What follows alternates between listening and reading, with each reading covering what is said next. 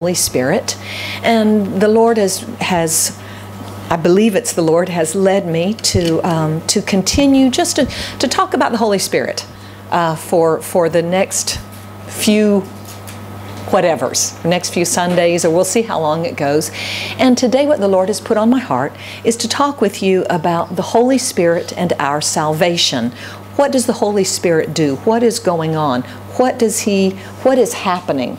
And there are things, as I was studying it and I was looking at it, there are a lot of things I don't really know either. And I've studied a lot because it's kind of mysterious. But I, I, I want us to look at what the Holy Spirit does in our salvation and His role and His importance. You can't divide it, you can't completely separate it because it is God the Father, God the Son, and God the Spirit, and they all work together in our salvation. They always work together in our, salvation, but they have also different roles and different responsibilities even as they work together. And so I'd like us to look, um, I'd like us to be to, to spend some time today talking about the Holy Spirit and our salvation.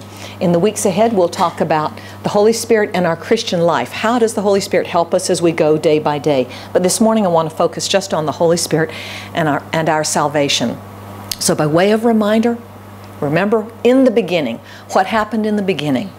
The breath of God gave breath to man and woman. We've talked about that, and you remember that so well, so I'm not going to give you all the references. That's in Genesis 1, 2, and 3, the story of creation. Uh, I think put me down a little bit. I'm, I'm, I'm echoing, right? I'm really loud, yeah? A little bit loud this morning, okay. The breath of God gives breath to man and to woman. He makes us. He made man and woman from the dust of the earth, and then He gave breath. Okay, take me back up a little bit now. There we go. Okay. Can you hear me okay now? Yeah, there we go. Okay. The life of God, imagine that. The life of God lived in man and woman, in Adam and Eve. And then they disobeyed God a seemingly very simple step. Have you ever thought about that? Sometimes things, choices and decisions seem so small, don't they? God said, don't eat the fruit. And they ate the fruit. What's the big deal? There are plenty of fruit trees in the garden. I suspect because of how God, of God's creativity, and because the climate was perfect at that time, there were no results of sin. I think and I think I'm right, I think that every fruit in the world was in the Garden of Eden. Really, think about that. Must have been such a great place to live. God gave them such a great place to live, right? Think about what what's some of your favorite fruits? Just think about that for just a minute. Anybody? Banana. You love bananas. How many types of bananas are there, Ida? So many types of bananas. They were all in the garden. So many types. Somebody else, what's your favorite? Mango. Bunch of Filipinos, of course, okay? Mango. Think about how many types of mangoes there are. There's the small kidney mangoes, there's those those other ones, they're the don't even know the names. those big those big round ones that come from Australia, right? Those big ones that are like this big and all these other ones, all those, they were in the garden. What else? Papaya. Oh, all the different, how many different types of papayas? Many different. It was in the garden. What else? Which one? Oh, durian. Gloria. Durian. Isn't that great? Durian was in the garden. All the different types of durian. Uh oh, somebody said something bad about durian, didn't they? Right, I can tell because they're laughing over there. Somebody else, is there, is there a fruit in your country that you don't get in Hong Kong very well or it's not very fresh? Okay? A what? Star fruit? Star apple. Okay, star apple. You can't get that very well in Hong Kong? That was in the garden. Anybody else? What? Oh, persimmons, those big ones. You know, there are a lot of types of persimmons as well. Those were in the garden. Those were in the garden. Hey, from Togo, any fruit in Togo that you can't get in Hong Kong? Avocado, avocado, but the the kind of Hong Kong is different. Ah, a special avocado, right? big and very uh, Kind of juicy? no not No, not juicy. sticky. Sticky. Ah, okay. I think they have some of those in the Philippines, right? Maybe. So, there, that was, hey, Brother Bono, that was in the garden. That was, that was in the garden. How, Alfred? Anyone from your, any particular fruit that you just love and you can't get it in Hong Kong very well? What? Can't think of it right now. All of these fruits, all of these fruits, just think about that. Okay, stop thinking about fruit now. okay, so all of it was in the garden. Why did we take a minute and kind of pause and think about all those fruits? All of that was there. They had everything they needed. They could eat all of these things except for that one thing, and God said, Don't eat that. And they, and they ate it. They disobeyed. Was the poison, was the death in the fruit? No. I think probably the fruit was very, not I think, the Bible lets us know. It looked good and it tasted good too. On the outside, it looked really delicious. And they took a step. So the sin was not in the fruit, the death was not in the fruit. The death was in the disobedience to God. The death was in the disobedience. Brothers and sisters, that's where sin and death always are. It's in the it's in the step of disobedience to God. It's it's so often it's not oh that thing in and of itself is a terrible thing. It's in the step of disobedience. It was a small step. What's a big deal? It's just one more type of fruit. And it was a small step that brought death to them and death to all of mankind. It has brought death to you and to me as well. A small step. What's the big deal? Adam and Eve died spiritually immediately, and physically they began to die. The only DNA they could ever pass on to their children would be DNA that included death and decay. That was the only type of DNA. It, there was never there would never be a perfect DNA. Do you wonder why we have cancer? You know, scientists have studied cancer and all the different types of cancer, and sometimes they just don't know. Cells go bad, cells mutate. Why? I know why. Because Adam and Eve in the Garden of Eden took the wrong step and made the wrong choice. And out of that, all of these things have come, all the way up to now, all the way up to now. And ever since then, every parent that's here this morning and every parent in the past could only ever give to their children DNA that has sin and death in it, even up to now. That's why, and we know this already, but that's why spiritually it doesn't matter if you've been born into a Christian family. It's great. Hey, by the way, uh, those of you kids here this morning, you've been born into a Christian family, you may sometimes think, my parents drive me crazy. But thank God you've been born into a Christian family. Truly, thank God you've been born into a Christian family. But guess what? All the blessings that come from a Christian family, still, your Christian parents can't give you Christian DNA. They can tell you about God, they can tell you good things, but they can't give you spiritual DNA. They can't give you Christian DNA. That privilege, that power was lost in the garden when Adam and Eve sinned. And only one person can give that back, and that's Jesus. And so, we, as we look at that, I want us to think about God's response to man's failure. So this was in the beginning, in, in, the, in the very beginning of man. I want us to look at God's response to man's failure. We talked about this a little bit, but I want us to think about this a little bit more because I talk with so many people that are kind of angry with God and that have the wrong idea about God and have the wrong thoughts about God. What did God, how did God respond to man's failure? Was he angry? Did he reject? That's what many people think. That's what people still think today, isn't it? When we fall, when we fail, how many of you struggle with the idea when you fail that God is angry with you and he rejects you? He's mad at you. He wants to get away from you. Have you do you struggle with that? I have struggled with that before. I have. We do something and we feel, "Oh, God's angry at me. He doesn't he doesn't really love me so much. He kind of loves me cuz he's God, but he doesn't love me so much because I sinned." And he's, he's gone away from me. I want us to look at how God responds to their failure in the garden so that we can see how God responds to our failures today. What's the first thing that God does after they fail? Before, before Andreas puts, clicks it up, what's the first thing? Think about it. This, this is found in Genesis uh, 2 and 3. What's the first thing? Do you remember? They're hiding, right? They're hiding. Isn't that what we still do today? How many of you, you sin and you fail and you don't want to go talk to God, right? Let's not talk to God for a while. Your name is Adam, your name is Eve. We're just like our parents, aren't we? We're just like our ancestors. We really are. The first thing that God does is He comes to them and He looks for them. Okay? So you can go ahead and put that one up. He looks for them. The Bible says, in the cool of the evening, He goes to the garden and he has to have taken human form in some way because he's with Adam and Eve. And what does he do? He calls to them and he says, What? Where are you? Where are you? Where are you? I love that response. God doesn't reject them, God doesn't depart from them, God goes to them. Where are you? Where are you?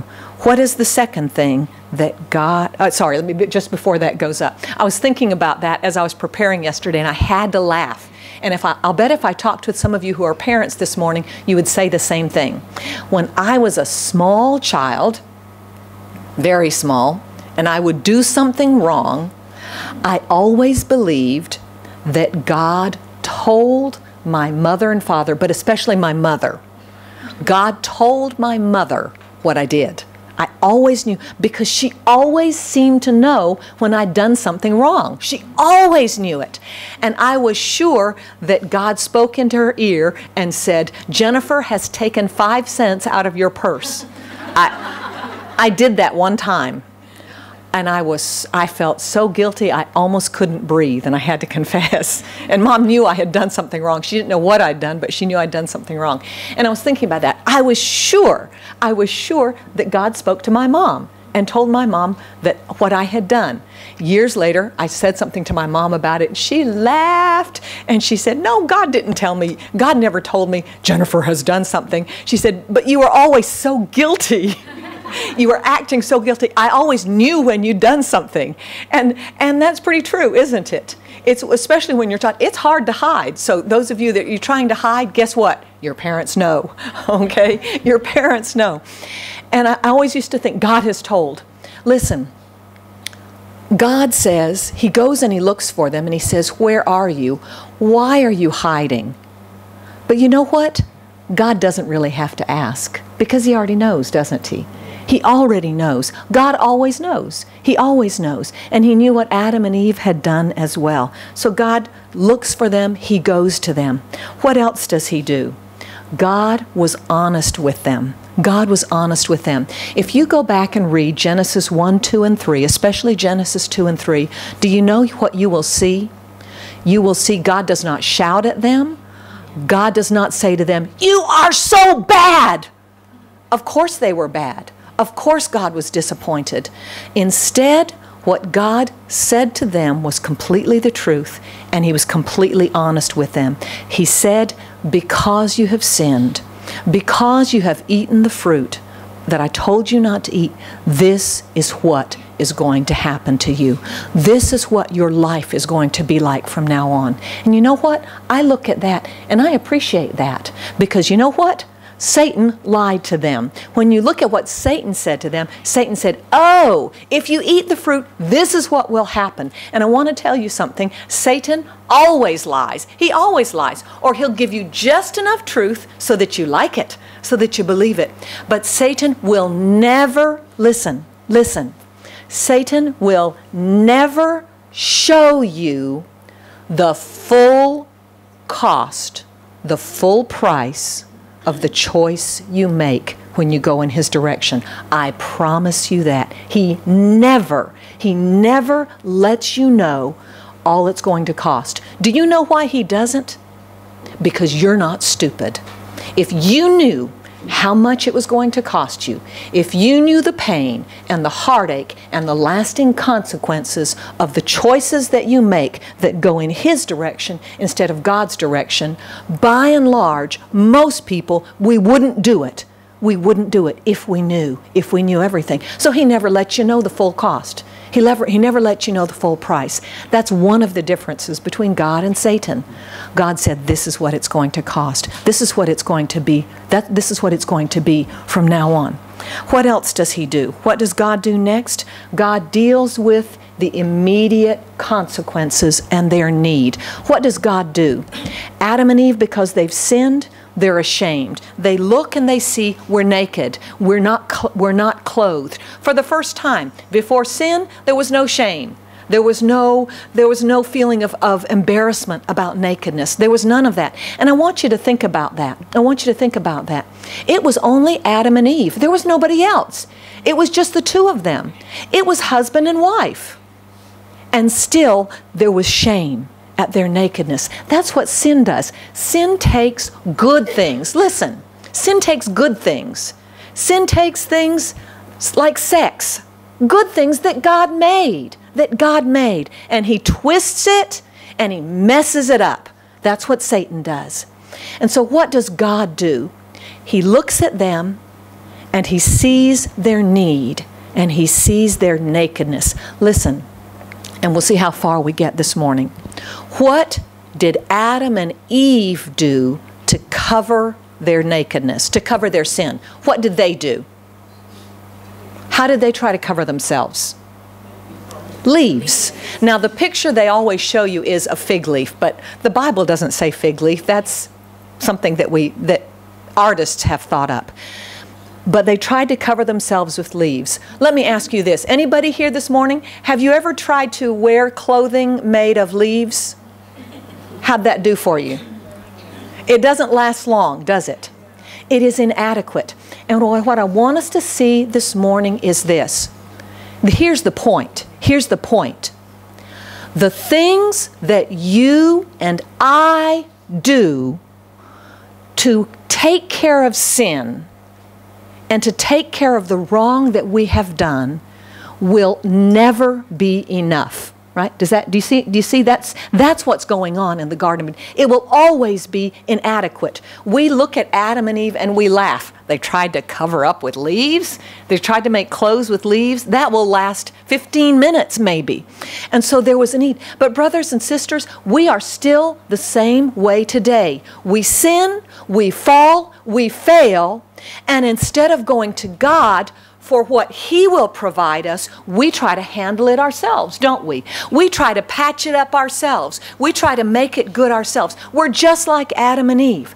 So, what does God do in that situation for Adam and Eve? What they have done for themselves is not enough. And so, what God does for them is He takes an animal and He kills the animal and he skins the animal, and out of the skin of the animal, he makes clothing for them. And that, at that moment, meets the need that they have. It meets their need. And so, to me, as I think about that and I look at these responses, I see a God of love. Do you see a God of love? Do you see a God of love? In the face of failure, in the face of disappointment, do you think God was disappointed with them? Of course he was. Hey, young people and kids that are here this morning, when you blow it, now sometimes our parents are not perfect, right? Our parents get angry with us, right? Sure. But what hurts more than a parent's anger? Their disappointment, right? Their disappointment. When you see them look at you, all of us, you see a parent look at you and you see the sadness in their eyes because you've disappointed them. That's a knife in the heart.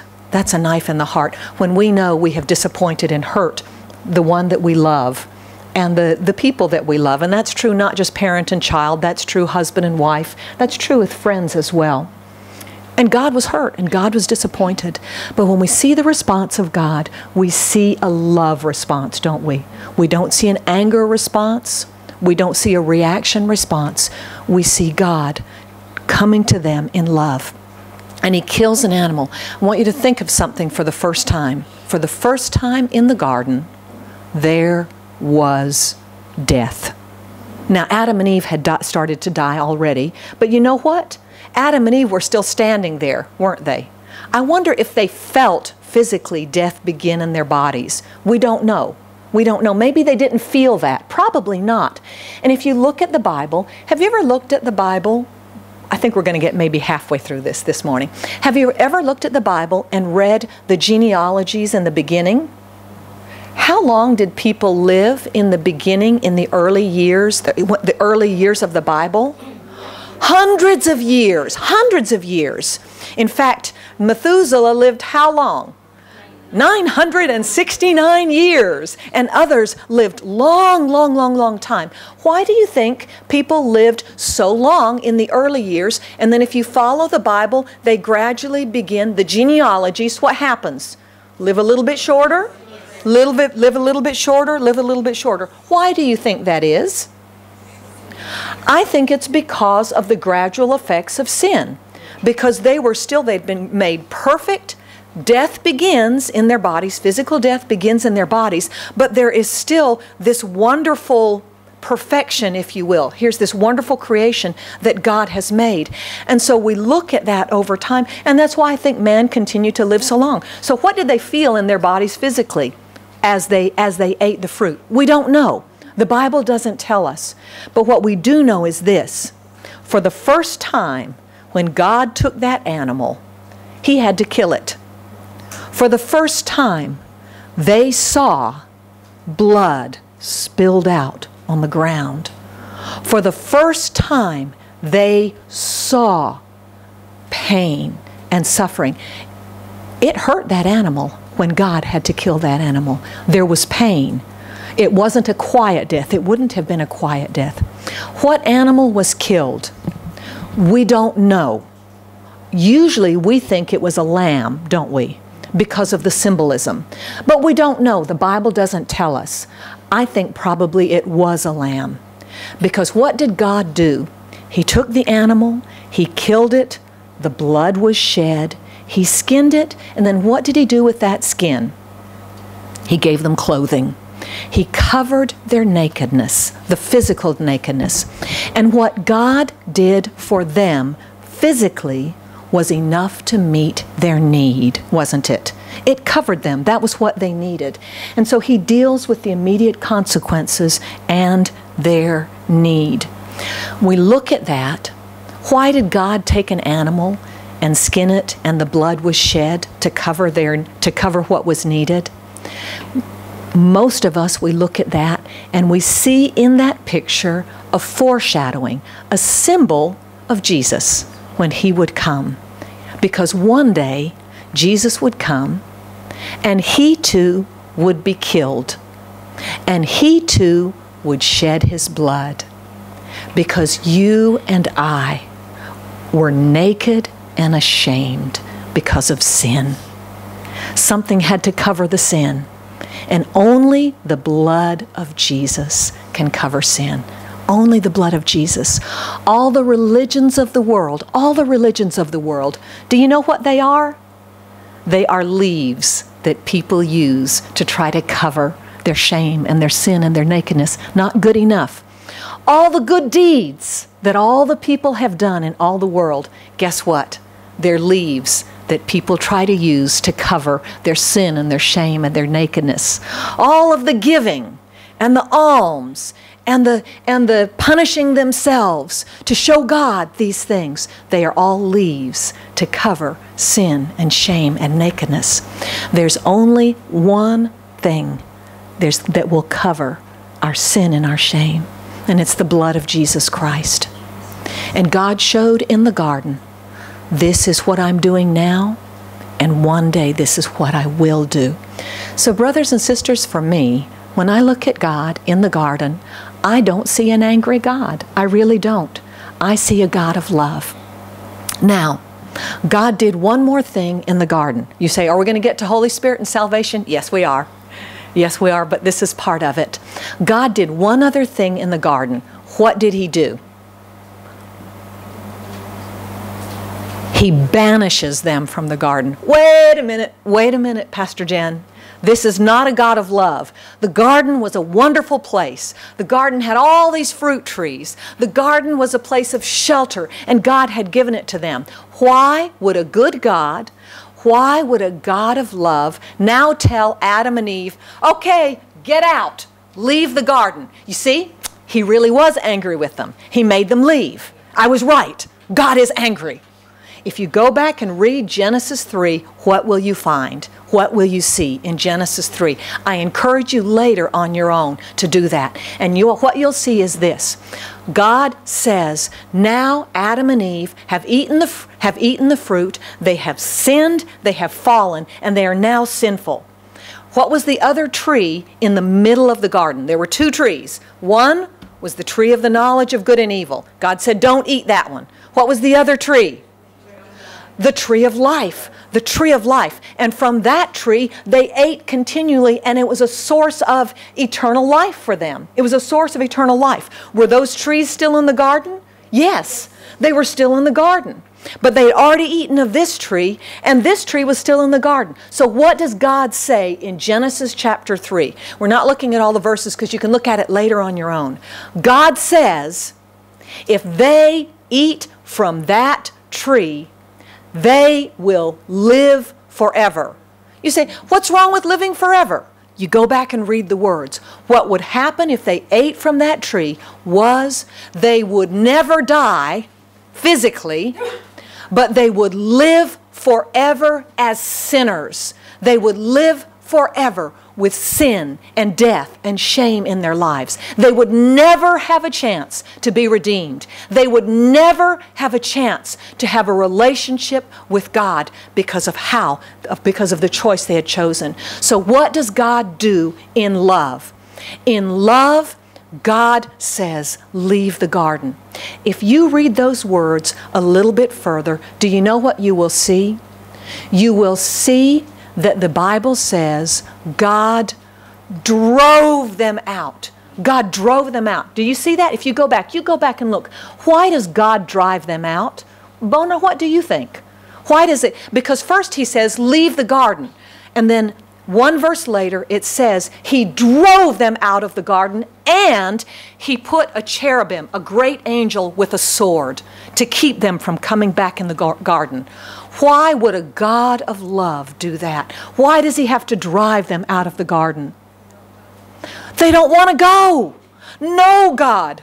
No, God, don't make us leave. No, God, let us stay here. No, God, let us have this type of relationship with you that we have had before. But the price of sin was too great, and it had broken that. And the God of love said, You cannot stay. You cannot stay. And He drove them out. He drove them out. That's a God of love. That's a God of love. That's why when I talk with people, I hope you're convinced of that this morning if you weren't before. If you've wondered, God's angry with me, I've sinned. When all I have to do is look at the first three chapters of the Bible and know that God is a God of love, He's not a God of anger. That's why when I sin, I have confidence to go to God quickly and easily and say, God, I blew it. I am so, so sorry. You don't know the ways I blow it. You think I look so good as I stand here in the pulpit and I'm this and I'm that. I'm just as human as you are. I struggle just as you do. And I know I can go to God. But I also know what sin costs, and so I don't do it lightly. I don't do it lightly because I think of the animal that God killed in the garden, and I think of Jesus that I killed on the cross. And it makes me careful with sin. It makes me careful with my choices. And so, God's ultimate solution was Jesus. This was his immediate solution. I kill an animal to cover you. But that was not a permanent solution. The ultimate solution was Jesus. Jesus was part of God's plan for you and for me. But Jesus was not the only part of God's plan. Who was the other part of God's plan? The Holy Spirit. The Holy Spirit. And that's why on the night when Jesus is resurrected, he comes into the room and what does he say?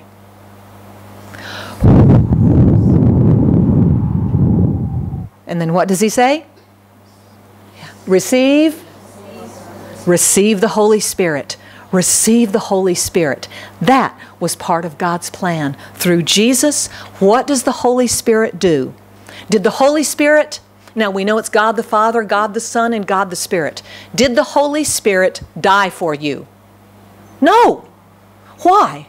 Why couldn't the Holy Spirit die for you and for me? The Holy Spirit doesn't have a body. He doesn't have a body. It took a body. It took a human body to bear your sin and my sin. It took a human body. It took human feet to walk up that, up that hill to the cross. It took human hands of flesh and blood to be nailed to the cross. It took that. It took blood, real blood, perfect blood, innocent blood, spilled and poured out for you and for me. So Jesus died for us. But having died for us, and his blood is now available to cleanse us and to cover our sin, how is that going to work in our lives? How is that going to be applied to our lives? How I want to simplify it. Please don't take it the wrong way. How does it get from Jesus to you? How does the work of Jesus on the cross come to your life? How is it applied to your life? What happens? Who does it? How does it work out? It is done through the work of the Holy Spirit. That's why the Holy Spirit is part of God's plan for salvation. Do you remember what Jesus said to his disciples? Jesus said, The Holy Spirit will take what is from me and of me and give it to you. That's what it says in the Word of God. And so Jesus is part of God's plan for salvation, but the Holy Spirit is part of God's plan for salvation as well. So the Holy Spirit takes what Jesus has done and He applies it and He brings it into our lives. So let's look at that in the time that we have left this morning and we'll continue next week. Let's go to the next one. Let's look at, first of all, the Holy Spirit's work before salvation. Are you with me so far? I took a long time on that first part because that's that's part of it to understand how God how God is working. So I want us to look first of all at the Holy Spirit's work before salvation. Before the Holy Spirit can ever begin to apply the, what Jesus has done to your life and to my life, he has to do something else first. What work does he have to do? And you can read about it, you can read about the Holy Spirit, but I want us to look at John 16 8. This is, these are the words of Jesus. He's talking to his disciples that evening up in the upper room. And what does Jesus say to his disciples? When he comes, who is he? Who's he? Holy Spirit. Holy Spirit. When he comes, he will convict the world of its sin, of God's righteousness, and of the coming judgment. Now, if you were a business person, you could say, I have a portfolio. How many of you have a portfolio? What is your, if I'm a business person, I would look at you and say, What's your portfolio? What am I asking if I ask you, Brother Kim? If, if I ask you, Brother Kim, what's your portfolio? What would you say? He said, he would say technical this and that and whatever. The portfolio is sort of your area of responsibility, the things that you do, right? My portfolio is this. Look with me just a minute. This is the portfolio of the Holy Spirit, okay? This is the is it his only portfolio? Oh no. Oh no. The Holy Spirit has a very very very big portfolio. But here is the first thing that we see about the Holy Spirit. When he comes, he will convict the world of sin, righteousness, and coming judgment. Now, I want us to look at this word. He will convict the world. Um, this is the English word, but I want us to look at it in the whole. Here's what the word convict means convict means to bring to light, to expose, to refute and to convince. All of that is bound up in the word to convict. So, first of all, when the Holy Spirit comes into the world, He will convict the world. That means you and me before Jesus, okay? That means you and me before the gospel. He will convict us of sin, He will convict the world of sin. Look at this. If this is the Holy Spirit's portfolio, this tells me something this morning. It is not my responsibility to make you feel guilty when you sin. How many of you try to do that sometimes? We've all tried to do it, right? You, you, you're trying to talk to somebody, you want to share the gospel, and you want to, you want to move their hearts. And so uh, Christians are so guilty of this. And so we start talking with this and that, and we want to make people feel guilty so that they will respond to God, right? How many of you have ever done that? Only I have done that, right? I was talking with Sister Betty one time. She said, because Sister Betty became a Christian before her younger sister did. Uh, her younger sister Cindy is in heaven now. She uh, she passed away many years ago. She was she was a, a younger sister, and and um, before Cindy became a Christian, we were all in the church together in the in the U.S. Dad dad and mom were their pastors, and Cindy didn't come to church. Cindy hated to come to church. She wasn't a Christian, and if her parents made her come, she would sit in the back of the church like that. She didn't want to be there. But you know what she couldn't stand even more than church? She couldn't stand her sister, Betty. Do you know why? Betty was always trying to make her become a Christian. Sister Betty would talk with her and she would say, You're going to go to hell if you don't, whatever, if you don't do this. And Betty would, would she would kind of beat her over the head with the gospel. Have you ever tried to beat anybody over the head with the gospel? Bong, bong, bong, bong, bong, whatever. And Betty, and Cindy, Betty said that Cindy got to the point where if Betty tried to talk with her, Cindy would just walk away. She couldn't stand it. And years, but years later, but then Cindy did become a Christian at some point, and Betty looked back, and Betty told me one time, she said, You know what? If I had just shut up, my sister would have become a Christian much, much earlier. And sometimes that's kind of true, isn't it? Sometimes it's kind of true because Betty was trying to make her become a Christian. The problem was Betty was trying to do what only the Holy Spirit can do. Only the Holy Spirit can do that. That's His job. That's not your job. Now, you have a job, by the way. You have a job, but that's not it. That's not it. When the Holy Spirit comes, He will convict. What is your job? We'll talk more about this later. But your job is actually, before you say so much, your job is to live in the right way. That's really the first thing. Because you know what? I can say anything, right? But how I live speaks louder than what I say. And so, if people look at my life and they see something different and they see the love of God and they see acceptance and they see humility and they see submission and they see gentleness and they see all of these things, that will speak to them much more loudly. And then, when the time comes and I do say something, they may listen. Why? Because I believe it. I've lived it myself. That's how it should be. Really, that's the best way. That's how it should be. And then the Holy Spirit takes how you live, and the Holy Spirit takes your words when your words match your life, and then the Holy Spirit begins to convict of sin. He does the work of conviction. As I was preparing yesterday, I was reminded of something that happened many, many years ago when I was in Beijing. It was, it was my last year in Beijing.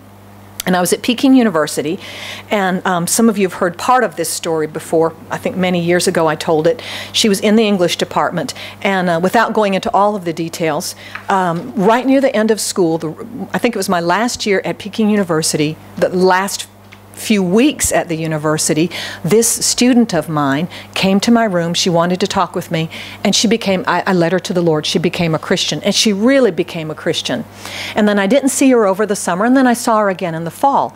And what I found out was this young girl, she was a freshman in the English department she had uh, the, she came from a broken home the father wasn't around anywhere so she had it was really a sad home life but over the summer just in that short time she led her mother to the lord and then she led her big sister to the lord as well just in a very very short time. And and it was just the transformation was wonderful. And then when i saw her again she told me another story. And i was so I was so moved because her sister was older than she was, and her sister was already working And her sister had become a Christian as well, and they started going to a Chinese, a, a, a house church, a family church, underground church.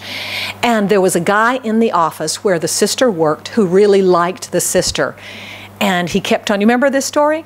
He kept on asking her, let's go out, let's go out. But the sister had become a Christian, and she knew this guy's not a Christian. This, um, he's, he's not interested in God. And she would talk to him about God, and he would laugh at her, and she would talk to him about God, and he would mock her. But he kept on asking her out because he really liked her, and she was really pretty. And she kept on saying no because he didn't have he didn't have Jesus in his heart. He wasn't, and she knew enough, she'd learned enough to know that the Bible said, don't be joined together with somebody who is different from you, who doesn't, who is not following God. You're not going in the same direction. And so she would say no, and he'd ask her out again, and she would say no. And she'd talk to him about Jesus, and he'd laugh at her and he'd mock her. This went on for several months. He, she wouldn't go out with him, but she kept on telling him about Jesus. And he kept on asking her, and she kept on saying no. She, she, she refused to missionary date, as, as people sometimes do. And then, one day, he came to work. I believe in God. I have become a Christian. What had happened? He told her. Yesterday, I was riding on the bus going home. He said, and I just looked out. I was just looking as I walked, as I, as I rode in the bus. And he said, and as I looked around, suddenly I was overwhelmed with the feeling that God had made the world.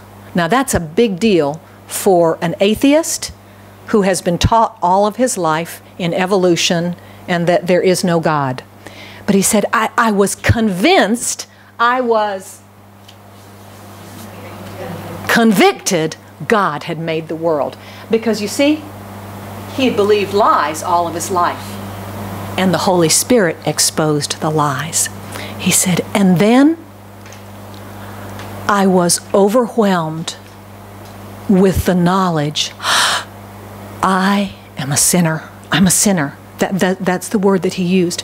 Now, those of you that aren't Chinese, especially if you don't have a mainland Chinese background, you don't really understand what that means. Because in Chinese, when you say you are a sinner, when I used to talk to mainland Chinese in China, you would use the word 罪人,罪人, but in Chinese, that means what? Criminal. It means criminal. That's what I, and so when I would talk with people in China and talk with them about God, they would always say, "But I'm not a criminal," because in their minds they would murderer, rapist, thief, kidnapper, and things like that. Really, really, because the word in the Bible is very specific. 罪 is sin, and to, to they would say, "I'm not a criminal." I'm not a criminal, but that's the word that he used. And he said, I realized I am a sinner. I'm a criminal. That's the word that he used. And because of that, he gave his heart to the Lord and he became a Christian. I don't remember the full end of the story, but as far as I remember, they began dating and they got married. I think that's what I remember. I think that's what I remember. But you know what? That's not really the best part of the story, is it? The best part of the story is that someone who was going to hell was now going to go to heaven. Brothers and sisters, how did it happen? It happened because the Holy Spirit did his work of conviction. The Holy Spirit did his work of conviction. That's his job. That's what he does. That's what he does. We're, we're not going to get as far as the next slide. So I want to, I want to, I'm, I'm going to come to a close this morning, but I want to tell you one other story this morning as we come to a close, and we'll pick up from here next week. I think of this story with such great joy, but I think of another story with such sadness. Because you see, the Holy Spirit convicts, the Holy Spirit convicts, and then people have to do something. People have to respond. When there is true conviction, listen carefully, when there's true conviction, you cannot ignore it. Can you cannot ignore it. If there's no true conviction, it's easy just to ignore it. You know, if you may go to a church or you may go to a service where there's no move of the Holy Spirit, there's no feeling of the Holy Spirit at work, and it's easy to listen to a, a sermon, it's easy to listen to words, but there's no change in the heart, right? But when the Holy Spirit is working, you have to choose. And you have to choose this way or this way. You can't ignore. And I remember this is the other story. We had two friends, Betty and I did. We had a group of friends. They were all older, they were almost our age at that time, and they were all university prof- professors at Peking University. And one of our best friends was in the international politics department. Brilliant young man. He was a lecturer at the university. And he and his wife became friends with us. And we would spend all the time together. We would spend every Sunday evening, we'd cook together in our home. He was a great cook, and they'd cook and they'd pour MSG and oil and whatever, and we'd eat, and we'd eat together, and we had such a good time together. And we'd always talk about Jesus. We'd always talk about Jesus. And we'd talk about politics and things like that. We always had a great time, but we'd always talk with them about Jesus. And they would listen and they'd listen and they'd listen, but they weren't. They weren't convicted. They weren't convicted until one Friday eve, Friday afternoon. It was a Friday afternoon. They were seated in our living room. We were talking, and at that moment, the Holy Spirit convicted them. It was so clear. We looked at their faces. I could see on their face they know it's true. Before they had listened to us because we were friends. Oh, it's interesting. We like to discuss religion, we like to discuss theories. But this afternoon, they listened and they knew it's true. The Holy Spirit brought to light. And as they listened, we saw their faces begin to change and we talked and, and in our hearts and then they went they went home. They didn't do anything at that moment. We because they were they were very very really analytical. And we said so you need to think about it. You've got to make a decision. And they said yes we do. Yes we do. And our hearts were so overjoyed. We were so happy. We thought praise the lord. I won't tell you their names. I still know them so well. We thought praise the lord. After two years of witnessing and spending time together and sharing the gospel they are going to accept the lord. Mean, both of them were communist party members of course, of course, they were Communist Party members. We knew that. And they went home that weekend and they said, We will come back on Monday. We were so happy. We were so excited. Praise the Lord. The Holy Spirit has broken through their hearts and their lives. They're going to become Christians. They came back on Monday and they made it very, very clear that they had made a decision and they were not going to follow God. They didn't say it in detail but it was very clear. They were Communist Party members. If they followed God, they would have to give that up. If they followed God, they would possibly lose their teaching position at the best university in China. If they followed God, they would lose their opportunity to go to America to study and to teach and to work. And they knew and they chose another way. And my heart, when I tell you that, is still broken.